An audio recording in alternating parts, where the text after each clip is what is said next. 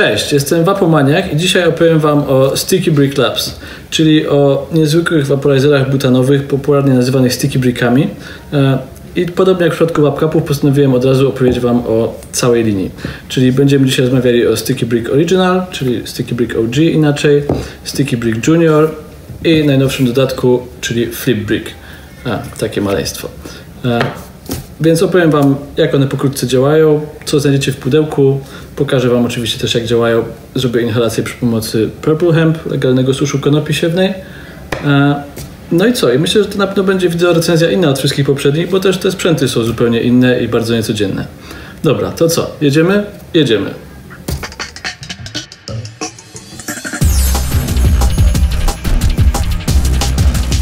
Dobra, więc zacznijmy od tego, jak działa Sticky Brick, na czym polega i skąd w ogóle ta nazwa, bo ona też jest ciekawa. E, Sticky Brick, czyli, czyli lepka cegła, tak naprawdę wydaje mi się, że nazwa się wzięła od tych magnesów, bo wszystkie elementy Sticky Bricka są ze sobą trzymane przez mocne magnesy. To są drewniane vaporizery i one są takie modułowe. Poszczególne moduły są przytrzymywane przez bardzo silne magnesy. E, są to vaporyzatory w pełni konwekcyjne, czyli tutaj susz jest ogrzewany tylko i wyłącznie, kiedy się zaciągacie. E, I są to vaporizery, które nie mają sobie żadnej elektroniki. Tutaj nie ma baterii, nie ma żadnych podzespołów elektronicznych, żadnych podzespołów elektronicznych.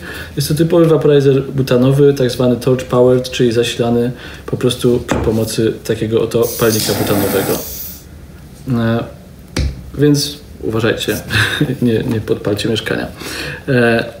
Tego typu vaporizery działają na następującej zasadzie, właściwie te konkretne vaporizery Sticky Brick. Chodzi o to, że mm, przystawiacie usta do ustnika, czyli tutaj. Tutaj wcześniej napełniacie komorę grzewczą suszem. To jest drewniana komora grzewcza, ale to nie ma znaczenia, bo jej ścianki w ogóle nie okrzywają suszu. Przystawiacie płomień palnika do szklanej dyszy i zaczynacie się zaciągać. I wtedy, kiedy zaczynacie się zaciągać, to ciepłe powietrze ogrzane przez e, ten palnik wchodzi przez tą dyszę, do, dolatuje do komory grzewczej, gdzie ogrzewa gorącym powietrzem materiał i następnie para wędruje przez urządzenie, przez jego wnętrze do szklanego ustnika. Czyli ma tak naprawdę w przypadku Sticky Bricka Original bardzo długą drogę do pokonania i świetnie się chłodzi. Jeśli chodzi o pozostałe modele Sticky Bricka, to działa dokładnie na tej samej zasadzie, tylko po prostu inne jest, inne jest wydanie, inny jest format. To jest Sticky Brick Junior, który po prostu różni się tym, że jest mniejszy, jest bardziej przenośny jak się uprzecie, to możecie go po prostu schować w kieszeni. Natomiast to jest wersja typowo dla domu, prawda? Tego raczej nikomu nie, nie zalecam używać gdziekolwiek indziej niż tylko w domu. Sticky Brick Junior jest jak najbardziej możliwy do zabrania gdziekolwiek. Flip Brick, chociaż jest teoretycznie najmniejszy, to tak naprawdę on jest najmniej dyskretny z nich wszystkich, dlatego że on nie działa sam w sobie, tylko jak widzicie, on ma szklany szlif i działa w połączeniu z fajką wodną. To jest jeszcze inna akcja, ale o tym za chwilę. Więc każdy sticky brick działa na tej samej zasadzie. Płomieniem palnika ogrzewacie powietrze, ono ogrzewa susz w komorze, niezależnie od tego, gdzie ona się znajduje, w zależności od tego, który to jest model. E, I następnie wdychacie po prostu przez ustnik fajny, bardzo konwe- konwekcyjny wapor, który smakuje świetnie. E, Więc taka jest zasada działania sticky bricków i chociaż one się różnią między sobą, poszczególne modele, to każdy działa właśnie na tej zasadzie. Czyli to są w pełni konwekcyjne vaporizery on demand, gdzie możecie wziąć sobie jednego bucha, zostawić e, resztę na później, dokończyć kiedy chcecie, nic się nie marnuje e, i i jest to w pełni, no w sumie jest to maksimum możliwej oszczędności, tym bardziej, że tutaj wchodzi około 0,1, 0,15, przy takich ilościach ten, ten vaporizer, czy właściwie te vaporizery już działają dobrze. Więc tyle jeśli chodzi o metodę działania sticky bricków Mm, i jedziemy dalej.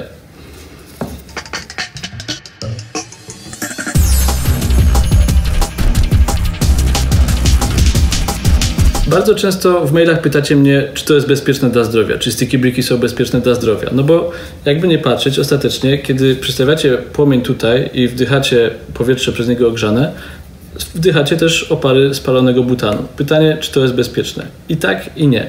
E, Nie, kiedy używacie po prostu zwykłego gazu do zapalniczek, dlatego że on ma w sobie bardzo dużo różnych domieszek e, chemicznych, które też sprawiają na przykład, że ten gaz jest wyczuwalny, że ma swój zapach.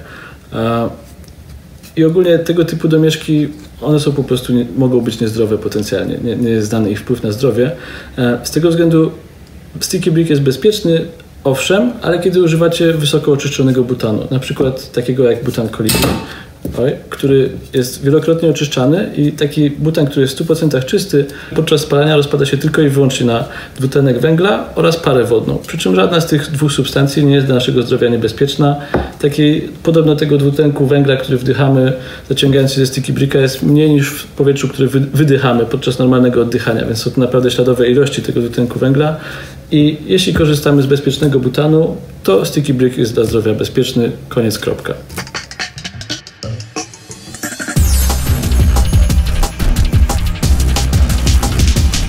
Jeśli chodzi o to, co znajdziecie w pudełku, to prawdę powiedziawszy, ani to, co znajdziecie w pudełku, ani same pudełka nie są zbyt imponujące. To jest pudełko od mojego pierwszego Sticky Bricka, Sticky Brick Original. Kupiłem go jeszcze w 2016 roku, gdzieś w połowie. Jak widzicie, jest to zwykły karton. Wtedy jeszcze były one po prostu opisywane markerem, teraz są już z naklejkami.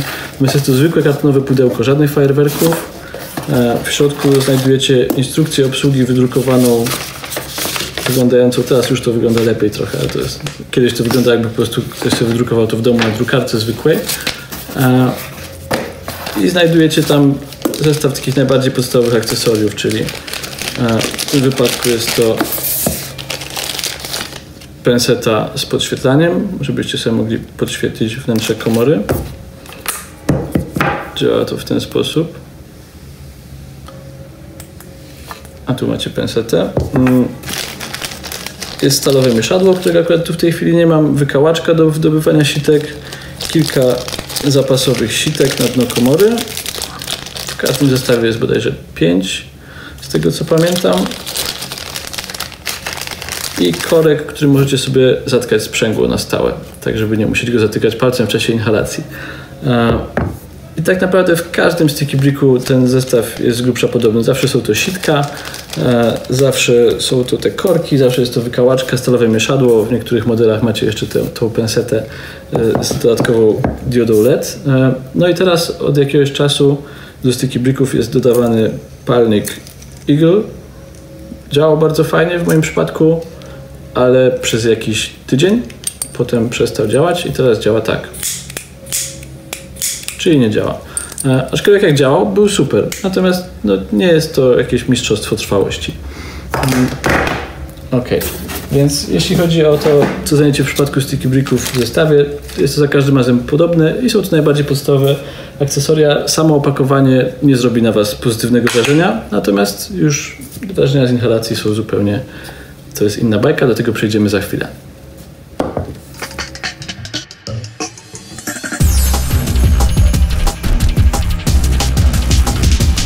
Jakie są wady i zalety sticky bricków, tak ogólnie jako całej, całej linii? Mm, na pewno największą ich zaletą jest jakość i moc pary, którą produkują, ponieważ mm, z racji na to, że ta para, ta waporyzacja w tych, w tych vaporizerach zachodzi przy wysokiej temperaturze, moc pary jest naprawdę ogromna i ona jest właściwie nie do osiągnięcia w przypadku, wydaje mi się, żadnego vaporizera elektronicznego. Mm, czy mówimy o MyTeam, czy mówimy o Eraser Solo 2, czy mówimy o Grasshopperze, czy o Ghost MV1, one nie osiągają takiej mocy, jaką osiąga Sticky Brick, jeśli chodzi o moc pary. Ona po prostu zapewnia bardzo, bardzo intensywne doznania. Tak jak mówiłem, nawet przy ilościach bardzo znikomych, bo wystarczy, że wsadzicie tutaj tyle suszu, żeby on po prostu zakrył to sitko, które widzicie na dnie komory grzewczej. Jak zakryte jest sitko, to znaczy, że suszu jest już wystarczająca ilość. Może go być oczywiście więcej, wtedy musicie w tej komorze mieszać co kilka wdechów, natomiast możecie tu używać naprawdę ilości aptekarskich.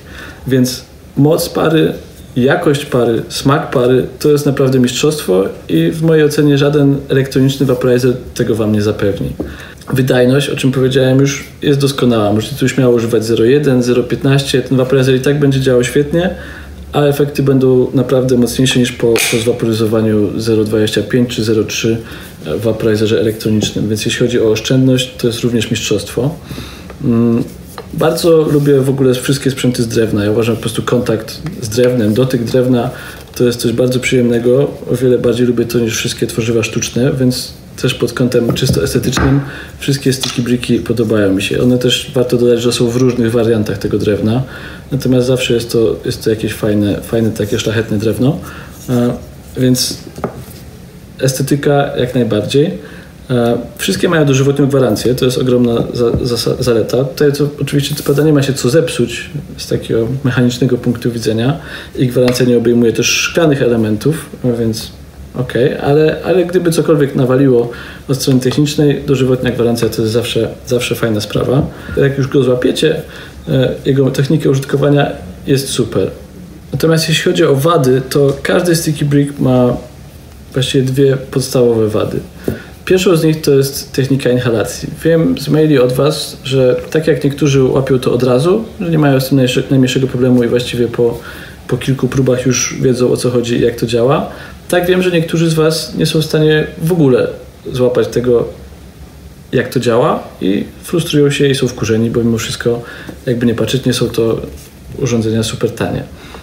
Na czym polega ta trudność z techniką inhalacji? Chodzi o to, że na początku musicie się zaciągać bardzo powoli, gdyż jak będziecie się zaciągać zbyt szybko, to, to powietrze nie zdąży ogrzać suszu w komorze. Musicie się, więc zaciągać się bardzo powoli na początku, ale kiedy już poczujecie parę, kiedy się pojawi w ustniku w przypadku tego modelu, albo kiedy ją poczujecie po prostu w ustach w przypadku Sticky Brick Junior, e, to musicie ten wdech znacznie przyspieszyć, żeby nie doprowadzić do przegrzania materiału i jego przypalenia w komorze, co od razu mówię, nie jest fajne, gdyż jest to sprzęt z drewna i jeśli przypalicie susz w komorze, to smak tego będzie Wam towarzyszył przez następnych kilkanaście inhalacji. Więc technika użytkowania i, i trudność to jest na pewno wada każdego sticky bricka. To nie jest sprzęt, który włączacie, wciskacie przyciski się inhalujecie. To po prostu trzeba złapać. Jednym to zajmuje chwilę, innym to zajmuje kilka dni lub kilkanaście nawet dni, jeśli się nie sfrustrują do tego momentu, ale jeśli oglądacie odpowiedni tutorial na YouTube, będziecie w stanie to opanować. Mm, druga wada bezpośrednio z tym związana to jest to, o czym wspomniałem, ryzyko przypalenia. Jeśli będziecie się obchodzić z tym nieostrożnie, przypalicie materiał w komorze, to nie jest fajne i, i, nie jest fajnie potem się borykać z czyszczeniem tego. Pamiętam swój pierwszy spanikowany post na Reddicie, po tym jak kupiłem sticky bricka i pierwszy raz go przypaliłem, bardzo panikowałem, jak go uratować. Na szczęście inni użytkownicy pomogli mi. Wymaga to owszem trochę czyszczenia, ale da się to zrobić. W każdym razie ryzyko przypalenia jest pewną wadą. Mm, trzecia największa wada to jest brak dyskrecji, to znaczy to nie jest sprzęt jak na polskie realia do użytku poza domem, w mojej ocenie. Nawet w wersji tak kieszonkowej jak Sticky Brick Junior.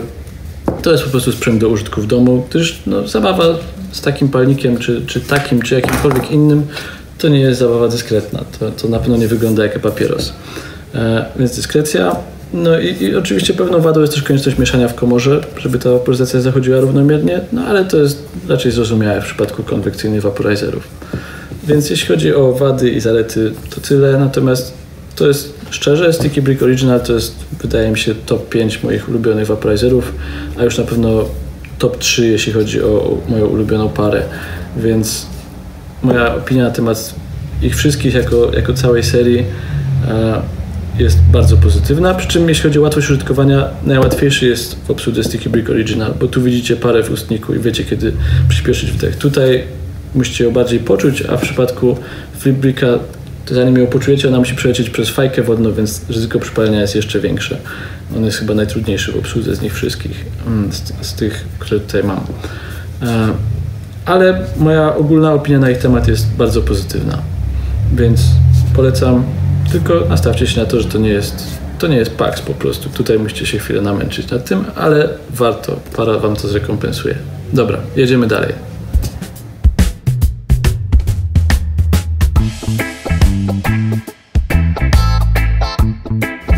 Przejdziemy teraz do inhalacji. Hmm, będę do niej używał, tak jak wspominałem na wstępie, Purple Hempa, czyli legalnej konopi siewnej od Hemp Yourself. Akurat został mi tutaj taki ostatni bobek Purple Hempa, poza tym już dno, dno w słoiku, trzeba zamówić nowe. E, zmielę go sobie w młynku New Edge. To jest nie jest to młynek jakiś taki z najwyższej półki, ale jeśli szukacie dobrego młynka i nie chcecie zbankrutować, on chyba kosztuje poniżej 50 zł z tego co pamiętam, to to jest, to jest dobry wybór, bo to jest młynek bardzo trwały, dobrze mieli i po prostu jest dobry, a, a nie kosztuje jakichś kokosów. Nie, nie jest to cena Santa Cruz Shredder ani tego typu produktów. Mm, zmielimy sobie trochę tego suszą.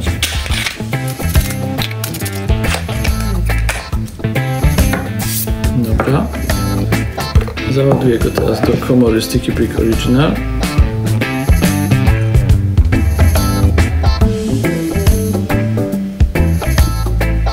I pokażę Wam, jak to cudo działa w praktyce.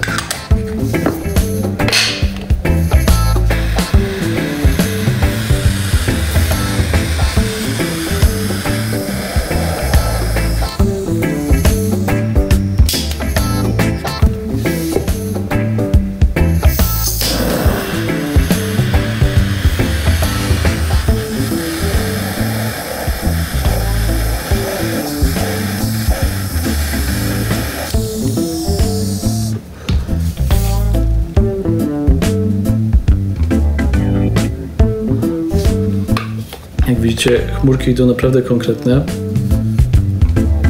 a nic się tu w środku nie pali. Więc tak działa Sticky Brick Original. Moim zdaniem najłatwiejszy w obsłudze, na większe chmury działa, działa najprzyjemniej. Jeśli chodzi o Sticky Brick Juniora, on jest trochę bardziej skomplikowany w obsłudze, ponieważ tutaj tą parę nie widzicie jej w ustniku, tak jak w Original. Znaczy może widzicie, ale nie aż tak dobrze. I po prostu musicie ją poczuć ustach. Jakkolwiek by to nie brzmiało. E... Dobra.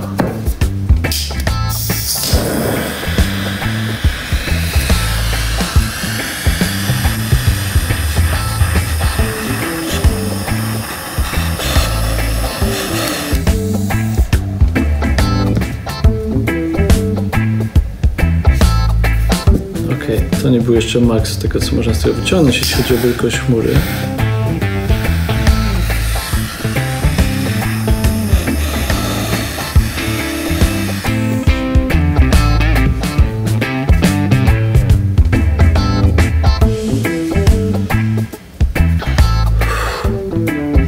No, więc te chmury idą z tego naprawdę tęgie. Nie będę Wam pokazywał całej sesji z każdym, bo ten film wtedy trwałby zdecydowanie dłużej niż chciałbym, żeby trwał. Pokażę Wam, jak to działa w przypadku FlipBricka. Tutaj komora jest naprawdę malutka. Napełniłem ją Purple Hempem tak mniej więcej do połowy. I teraz FlipBrick, jak sama nazwa wskazuje, chodzi o to, żeby go obrócić. Po tym jak go obrócicie, możecie to zamontować na fajce wodnej. W czym zestawie, to jest akurat zamontowany szlif 18 mm, w zestawie macie też 14, czyli pasuje właściwie do większości fajek wodnych. Mm, dobra, flip brick.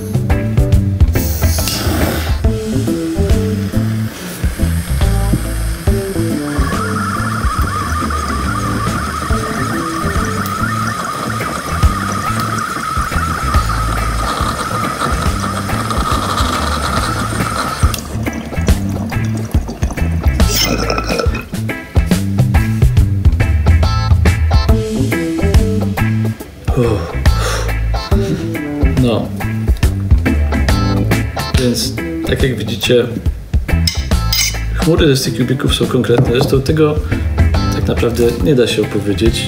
To trzeba po prostu poczuć. E, I nie dam wam rady tego w tym wideo pokazać, e, tak jakby to wam to chciał pokazać. Ale to jest zupełnie inna bajka niż wszystkie vaporizery elektroniczne. Moim zdaniem ciekawa, natomiast nie dla każdego. Jeśli jesteście fanami waporyzacji, jeśli macie ochotę zgłębiać te tematy i próbować różnych vaporizerów, na pewno warto. Natomiast jeśli myślicie nad tym, żeby zacząć waporyzować i chcecie kupić pierwszy waporyzator, nie jestem na 100% pewien, czy Sticky Brick, niezależnie od wersji, to, to będzie dobry pomysł. Uważam, że lepiej spróbować najpierw na czymś innym, przekonać się, że to jest to, co Was interesuje i dopiero później wybrać urządzenie, które jest trudniejsze w obsłudze. I co, jeśli chodzi o moje wideo o Sticky Brickach, to byłoby właściwie na tyle. Zapewne zapraszam Was do, do polubienia tego filmu i subskrybowania mojego kanału. Wszystkie modele Sticky Bricka w Polsce znajdziecie tylko i wyłącznie na Vapefully, gdzie polecam Wam zajrzeć, jeśli jesteście nimi zainteresowani. Linki do tych vaporizerów znajdziecie w opisie mojego filmu. A, I co, ciekaw jestem na, na Wasze opinie, więc jeśli używacie Sticky Bricka, napiszcie mi w komentarzu, jak Wam się go używa. Jeśli nie używacie, jakieś macie pytania, to też napiszcie, chętnie na nie odpowiem. I co? Do zobaczenia w następnym filmie już wkrótce. Dzięki za uwagę. Cześć.